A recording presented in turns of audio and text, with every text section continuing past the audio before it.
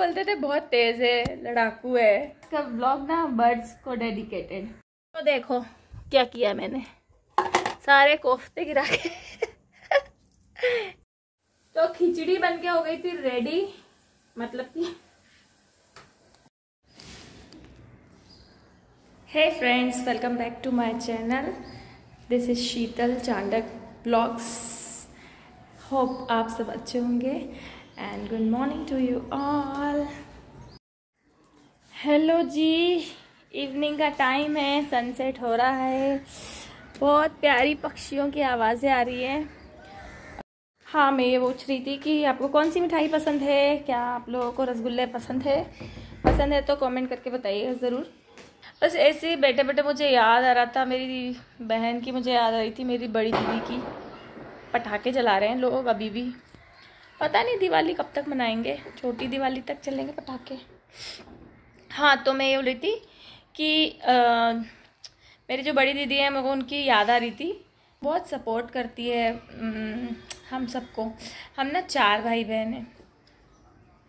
मैं second number की हूँ। एक है मेरी बड़ी दीदी जिनका जो कि मुझसे सिर्फ़ डेढ़ साल बड़ी है या एक ही साल बोलेंगे। बाकी हाँ ऐसा देखा जाए बर्थ टू बर्थ तो डेढ़ साल बड़ी है। फिर मैं हूँ, फिर मेरी वाली, छोटी वाली एक बहन है, और फिर हमारा है भाई, जो कि बहुत ही प्यारा है। और हमारे, हम चारों भाई बहनों में एक चीज़ ये अच्छी है कि हम लोग ना बहुत मज़े से मस्ती करके रहते हैं और बात भी करते हैं एक दूसरे से। और जैसे लड़ाई वड़ाई तो सभी भाई बहनों में होती है।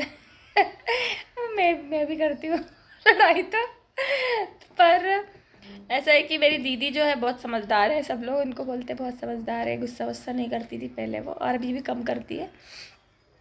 मेरे बारे मेरे बारे में बोलते थे, बहुत तेज़ है, लड़ाकू है। और मैं क्या ना, मेरे भाई बहनों को कोई कुछ बोले ना तो मेरा दिमाग आउट हो जाता है, मैं लड़ लेती थी। और ज़्यादातर मैंने लड़ाई अपने भाई बहनों के लिए की है। किसी ने मेरी छोटी बहन को कुछ बोल दिया तो मैं उसकी ऐसी की तैसी कर देती थी। मेरे भाई को बोल दिया कुछ तो मैं जाके मार के आ जाती थी। उसके उसके बाद मेरी दीदी को कोई ने कुछ बोला तो मेरी दीदी तो कभी किसी को जवाब नहीं देती और मुझे गुस्सा आता था कि मेरी बहन को किसी ने क्यों कुछ बोला। और मेरा और उसका कैसा था ना, ज़्यादा अंतर नहीं था तो मैं उसके बहुत पीछे, उसके साथ साथ पीछे उसकी फ्रेंड के यहाँ भाग के जाना और सब करती थी और मुझे बहुत गुस्सा करती थी। कौन कौन ऐसा जिसका कि छोटा भाई है बहन। पीछे पीछे उसके लगता है। मैं बहुत पीछे लगती थी अपनी बहन के और उसकी फ्रेंड्स लोग से भी फ्रेंडशिप कर लेती थी। वो गुस्सा करती थी मुझे। कितनी बार तो बिना बताए चली जाती थी, क्योंकि मैं पीछे चली जाऊँगी इसके। और कैसे छोटी सी जगह से आई हूँ मतलब छोटे से गाँव में रहते थे तो ऐसा था कि घर तो पता होते थे कौन सी फ्रेंड का कौन सा घर है। पता चला कि वो वहाँ गई है तो वहाँ पहुँच जाते थे। दीदी है क्या, दीदी है क्या? हाँ उसको बड़ी दी बोलते हैं। बड़ी दी, बड़ी जीजी, मैं उनको बर्ड्स बोलती हूँ। आज का ब्लॉग ना बर्ड्स को डेडिकेटेड जो सपोर्ट शादी के बाद, उसकी शादी के बाद, मेरी शादी के बाद जो सपोर्ट उसने मुझे किया है, वो सपोर्ट कभी नहीं भूल सकती मैं। उसने एक माँ के जैसे माँ होती ना एकदम कड़क और अंदर से फीलिंग्स सबकी सुनना, सबको अच्छे से सलाह देना, ऐसे करो, ऐसे नहीं करो, ऐसे बताना, चीज़ें समझाना, बहुत किया है। आज भी मैं परेशान होती हूँ तो मैं उसी के सामने रोती हूँ। मम्मी के सामने नहीं रोती। मम्मी क्या क्या है ना, मम्मी को कुछ करो, बोलो ना तो टेंशन ले लेती हैं, रोने लग जाती हैं, उनको टेंशन होता है और मेरा कैसा गुस्से वाला नेचर है। कभी वो मुझे कुछ बोलती है ना तो मैं गुस्सा कर देती हूँ कि आपको तो बताना बेकार है ऐसा वैसा नहीं करना चाहिए ऐसा। जैसा मैं करती हूँ, ऐसा नहीं करना चाहिए। माओ को क्यों परेशान करना? माओ को जो परेशान करते हैं, उसको बहुत परेशानी होती है बाद में। ये मैं अरे टॉपिक पे जाते हैं। हाँ तो हम मेरी जो दीदी है ना, उनको मैं बर्ड्स बोलती हूँ। बर्ड्स मतलब कि कली बर्ड मेरा भाई भी बहुत अच्छा है। पहले मेरे साथ रहता था कि उसने भी बहुत सपोर्ट किया और मेरे को मेरे भाई बहनों को बहुत सपोर्ट है। मतलब कि लाइफ में अपने मतलब कुछ भी हो ना हो, आपके ज़रूर काम आते हैं। मुझे ऐसा लगता है वो जो मेरी तरफ़ से, किसी और का नहीं, मुझे कुछ बोलना। पर ना, बहन, भाई, माँ, बाप, जो रियल रिश्ते होते हैं ना, वो आपको ज़िंदगी भर ऐसे रहते हैं। वो कभी आपको ऐसे छोड़ते नहीं हैं। दुख में, सुख में, प्यार, मोहब्बत, लड़ाई, झगड़ा, सबके साथी हैं होते हैं वो। तो ऐसे ही ना बर्ड्स का भी था। मेरे को हँसी आ रही है अभी कि इतनी वो मेरे को बोलती थी मैं अभी आती हूँ हाँ ज़रा वॉशरूम से आती हूँ। और ना मैं हम लोग ती, तीसरे माले पर रहते थे। तो हमारा घर बहुत बड़ा था। तो नीचे आके पता नहीं कब निकल जाती थी झूठ बोल के। इसलिए और दूसरा कोई भी हो मैं भी अपनी फ्रेंड्स के अपनी बहन को बर्दाश्त नहीं कर करूँगी तो वो भी नहीं करेगी ना। और बोलते हैं ना लमेटे जैसे पीछे लग जाना। तो हमारे उधर बोलते थे लमेटे। आ, मतलब कि लागरे जो पीछे पीछे पीछे पीछे लग गए। बर्थडे पे उसको बुलाया चली चली जाती थी मैं उसके साथ। और मम्मी भी उसको ऐसा बोलती थी कि ले जा इसको साथ में। तो मैं भी चली जाती थी। मुझे तो अच्छा केक खाने को मिलता था। और ये सब छोटे में तो यही सब अच्छा लगता है। तो ये सब चीज़ों के चक्कर में मैं चली जाती थी और वो मेरे ऊपर इतना गुस्सा करती थी, पर क्या हो होता मेरा गुस्सा और उसके गुस्से में अंतर है। वो सिर्फ़ ऐसे फुसफुसा वाला सब अंदर ही अंदर गुस्सा करती थी। और मैं तो वही कि नहीं, मुझे नहीं ले जाना, चलो यहीं रुको। तो मेरी छोटी वाली बहन को मैंने नहीं उसको लिफ्ट दिया। पर मेरे को, मेरे मज़े मिल गए। मैंने बचपन में बहुत दादागिरी की है। वैसे तो मेरी दीदी ने भी की है, क्योंकि ऐसा नहीं करोगे तो खिलाऊँगी नहीं, वैसा वैसा। तो खेल खेलने के लिए उसकी बात सुननी पड़ती थी, पर उसके बाद ना मेरे को समझ में आ गया। चंटे तो थी मैं शुरू। समझ में आ गया कि इसकी क्या स्ट्रेटजी है। तो मैं बोल देती थी ऐसा, कि ऐसा नहीं, ऐसा करो, तुम गलत कर रहे हो तो फिर वो वो चिढ़ जाती थी। वो मुझे बोलती थी कि, चल निकल गेम से, भगा देती थी। फिर मैं रो के मम्मी के पास चली जाती थी। कि मम्मी, इसने ऐसा किया तो मम्मी बोलती थी क्यों परेशान कर रहे हो मेरे को। मम्मी वैसे भी चार चार चार बच्चों में परेशान थी। थी कभी कभी तो मेरे को ऐसे लगा देती थे, इतना मारती थी। मुझे मारती थी ज़्यादा मेरी मम्मी। मैं काम भी तो ऐसे करती थी ना, मार आज मेरे को याद आती है कि मैंने क्या क्या कांड किए हैं या क्या क्या किया है, जाम के पेड़ पे चढ़ जाना। सभी बोलते थे, इतनी सुंदर लड़की है, कभी गिर गई तो हाथ पे टूट गए तो शादी इससे करेंगे? सबको ये टेंशन ही लग जाता है। मेरे को ये समझ नहीं आता, सब लोग को ये टेंशन क्यों लगता है कि शादी कैसे होगी इसकी? इसकी शादी नहीं होगी तो क्या करेंगे? घर पे पड़ी रहेगी। अरे ठीक है भाई, तुम्हारी बच्ची है, कभी शादी नहीं हुई तो घर पे रहेगी तो क्या प्रॉब्लम हो गई? पहले लोग डरते थे बहुत लोगों से। आजकल नहीं होता हाँ पता नहीं गाँव में इतना सोचना क्यों है? एक ना एक किस्सा बताती हूँ। मेरी एक दीदी है कज़िन दीदी, उनकी बच्ची की शादी, उनका फ़ोन आया तो मैंने बोला, अरे, अपनी बच्ची बहुत सुंदर है, बहुत अच्छी है, गुणी है इंजीनियर है, इसकी इधर उधर शादी मत करना, कोई परेशान करेगा तो। ने बोला, परेशान करेगी तो अपनी बच्ची अपने घर पे आ जाएगी, कोई टेंशन नहीं अपने को। तो मेरे को इतना अच्छा लगा, मैंने कहा, ऐसे माँ बाप होना दुनिया तर गई। पहले कैसे माँ बाप ऐसे डरते थे कि, अरे यार, बदनामी होगी, ऐसा होगा, वैसा होगा।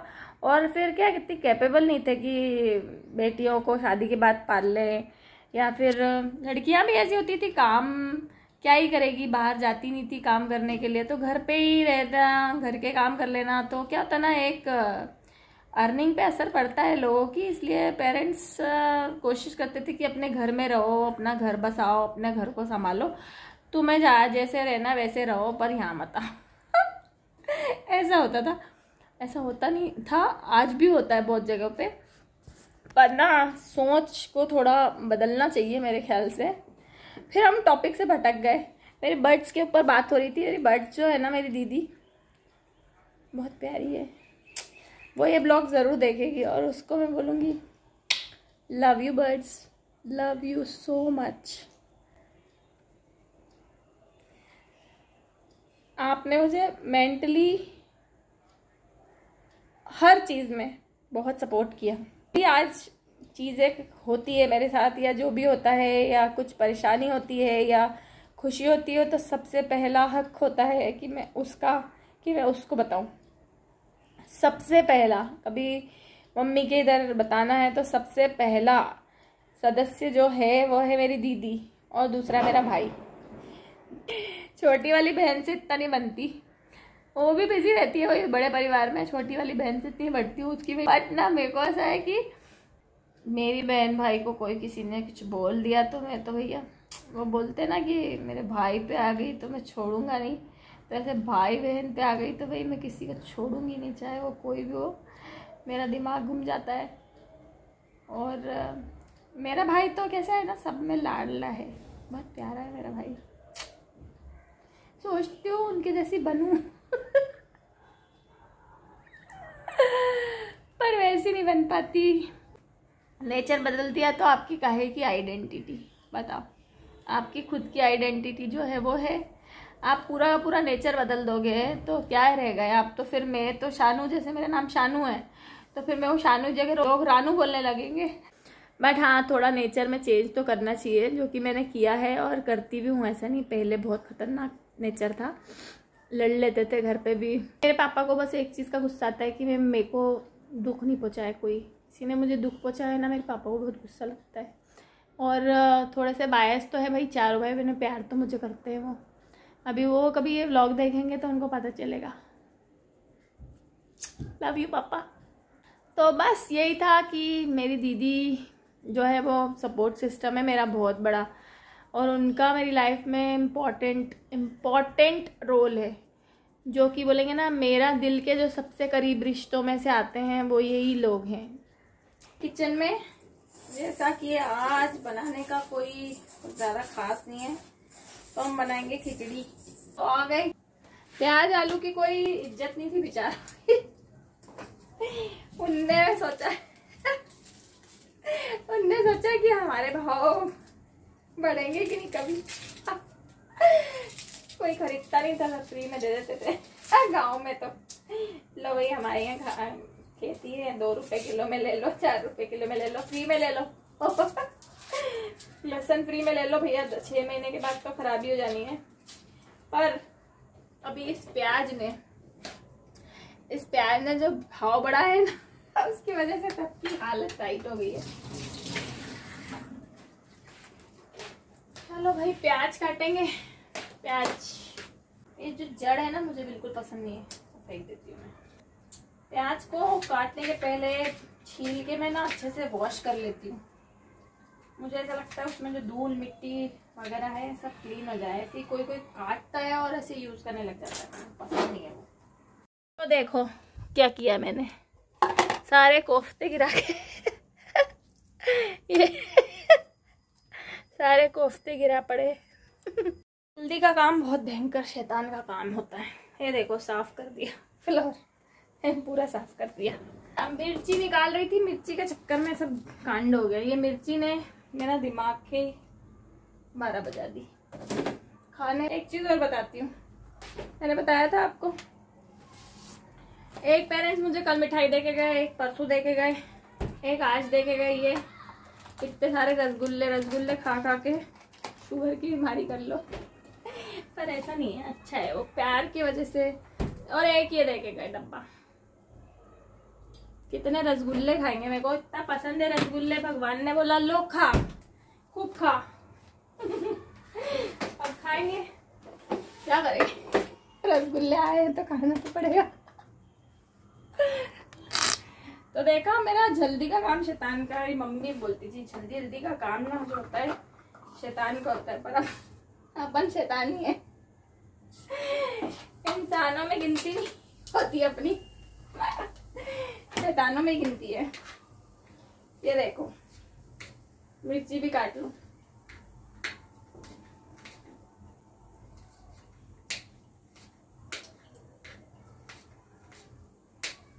मिर्ची कट गई। घर शिफ्ट करना है, बहुत टेंशन आ रहा है। तो बस एक काम करना। मैं जितने भी टेंशन में रू कुछ भी रू आप तो वीडियो को लाइक करना चैनल को फॉलो करना सब्सक्राइब करना बेल का आइकन से हिट कर देना, और नोटिफिकेशन तो पहुँच ही जाएँगे हिट कर दोगे तो। टिंग टोंग ठीक है? बस।